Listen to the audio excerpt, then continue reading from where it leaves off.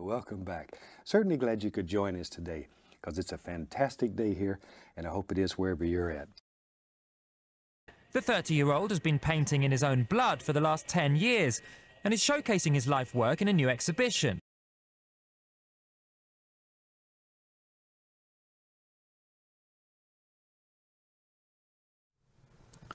I had always liked collecting rare books and paintings with the extra money I made trading stock options on the side. My small two bedroom apartment house was cluttered with them. I had bookshelves filled with original signed copies of works by Stephen King, Philip K. Dick, and Hunter S. Thompson that I had saved for years. I also tried finding ascending painters in the local art scene and buy up some of their works for the very low prices before they got discovered. Sometimes it worked out, and sometimes it didn't. But as a whole, I had made far more money than I had lost over the decades. All of the works I liked most, though, I refused to sell at any price. And these included the paintings of H.G. Bittaker. After his mysterious death a few years ago, they had gotten the same kind of reputation as paintings done by serial killers like John Wayne Gacy that were sold openly, sometimes for tens of thousands of dollars on the internet. And like Gacy's strange portraits of Snow White or the Seven Dwarves or Grinning Clowns, Bittaker's paintings all had a sinister and otherworldly pull. I had kept them locked up in a storage unit, but when the storage company told me that they would be doubling their rates, I decided to close the unit and take everything in it back to my house. I set up the macabre paintings around my room and the hallways, remembering the strange conversation I had with the artist just days before his ultimately death. People like to say that life is art, and meaningless platitudes like that. He said as he stood in front of a painting of a victim of murder made to look like Shiva dancing the Tandava. The black, eyeless sockets of the victim stared straight out at the viewer. His mouth was open, showing a spiraling galaxy of shining stars hidden within. Four emaciated pale arms jutted out from the sides of the starving body bent in the same posture as Shiva's eternal cosmic dance. The arms showed signs of torture, patches of burnt and melted flesh eaten into the body like a cancer. One mutilated leg was lifted into the air in a half-kicking motion. Deep gashes were sliced into its skin and muscle, revealing the white bone gleaming underneath. The emaciated dancer stood on a mountain of hundreds of skulls, many of them with fragments of hair and pieces of gore still clinging to the bone. Feeling slightly sickened, I turned away, chugging the entire bottle of apple juice I held in a few long swallows. But you want to know what I think? I think death is the true art. He continued, his gray eyes flashing over me. They looked flat and lifeless, as if all the hope had long ago been sucked out of this young artist. His face was narrow and serious with high cheekbones and close-cropped black hair. So, what inspired you to paint this piece, for example? I said, glancing at the macabre murder victim piece. It had a small white placard. I recognized immediately that the placard showed me the name of the piece, the artist, the year it was created, and the materials used to create the piece. But it had to be a joke. All around us, people chattered softly as they sipped wine and sodas, moving slowly around the hall. The entire exhibit showed dozens of H.G. Bittaker paintings, all of them extremely disturbing. I saw a painting of mass graves under a cold, black sky, with rings like those of Saturn, extending far out into the void. Next to it stood out one of a monk burning himself alive while sitting in complete peace. This piece was inspired from a dream I had, or maybe I should call it a nightmare. Do you know what the Tandava is? H.G. Bittaker asked me, his gray eyes flashing with excitement for the first time that night. I shook my head, but I leaned close, interested. The Hindus believe that we exist in an eternal multiverse where countless universes are constantly being created and destroyed. His maintenance is really just the ultimate reality from which all universes constantly spring. They say that the individual creator god for each universe arises out of Vishnu's navel. The creator is only a finite god with limited power, a being who they call Brahma. Brahma eventually ages and dies just like the universe itself, for you see, Brahma, the creator, is by far the weakest of the three. The eternal presence of the multiverse and the omnipresent power of death and destruction are much more powerful. When a universe has grown ancient, when it has started to turn gray and fade towards death, one far more powerful than the Creator appears Shiva, the Destroyer. At that point, he begins his final dance for that universe, the Tandava, it is called. After Shiva starts to dance the Tandava, it cannot be stopped until everything in the universe is destroyed. He dances faster and faster until all the remaining matter and energy is annihilated, released back into the consciousness. He does this not out of hatred or spite, you understand, but out of love for all beings. In the destruction of the universe, enlightenment shines through, and pure consciousness release can be used to start the process of creation again. So, you asked about what inspired this particular piece. Well, in one reoccurring nightmare I had, I saw this man, this pale victim of some death camp, I guess. His eyes had been cut out. His still body lay on top of a mass grave of rotting bodies with maggots writhing in his skin and hair. He showed clear signs of torture before the merciful release of death took him away.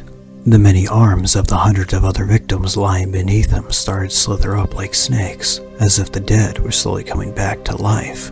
It was like they were trying to reach upwards, trying to reach towards freedom from the rotting pit of horrors they found themselves in.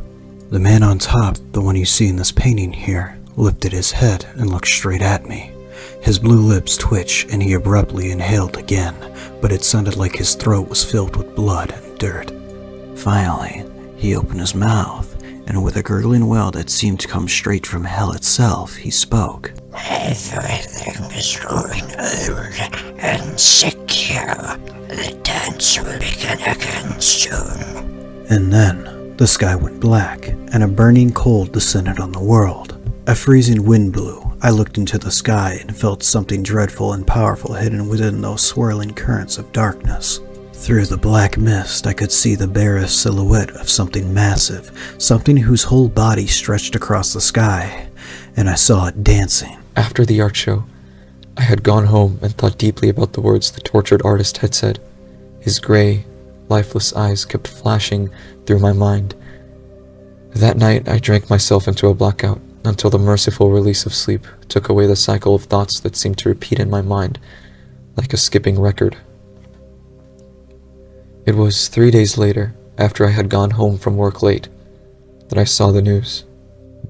Breaking news suddenly flashed across the screen as a TV reporter stood in front of the expensive apartment building under a dark, cloudless sky. It was a ritzy, expensive part of town near the art gallery. Police cars filled the street behind her as she smoothed the long lock of hair behind her ear.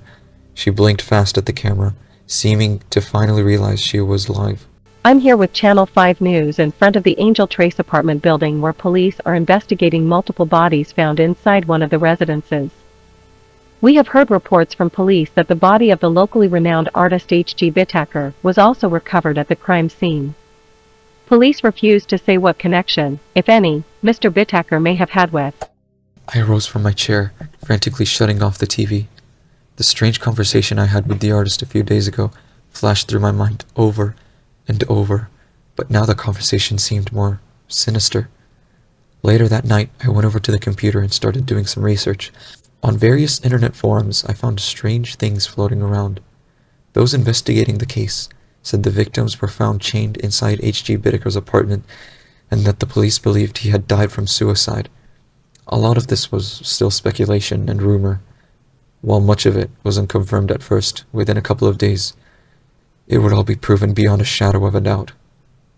As I would find out over time, the bodies of eight women were laid around H.G. Bittaker in a shape like a lotus petal.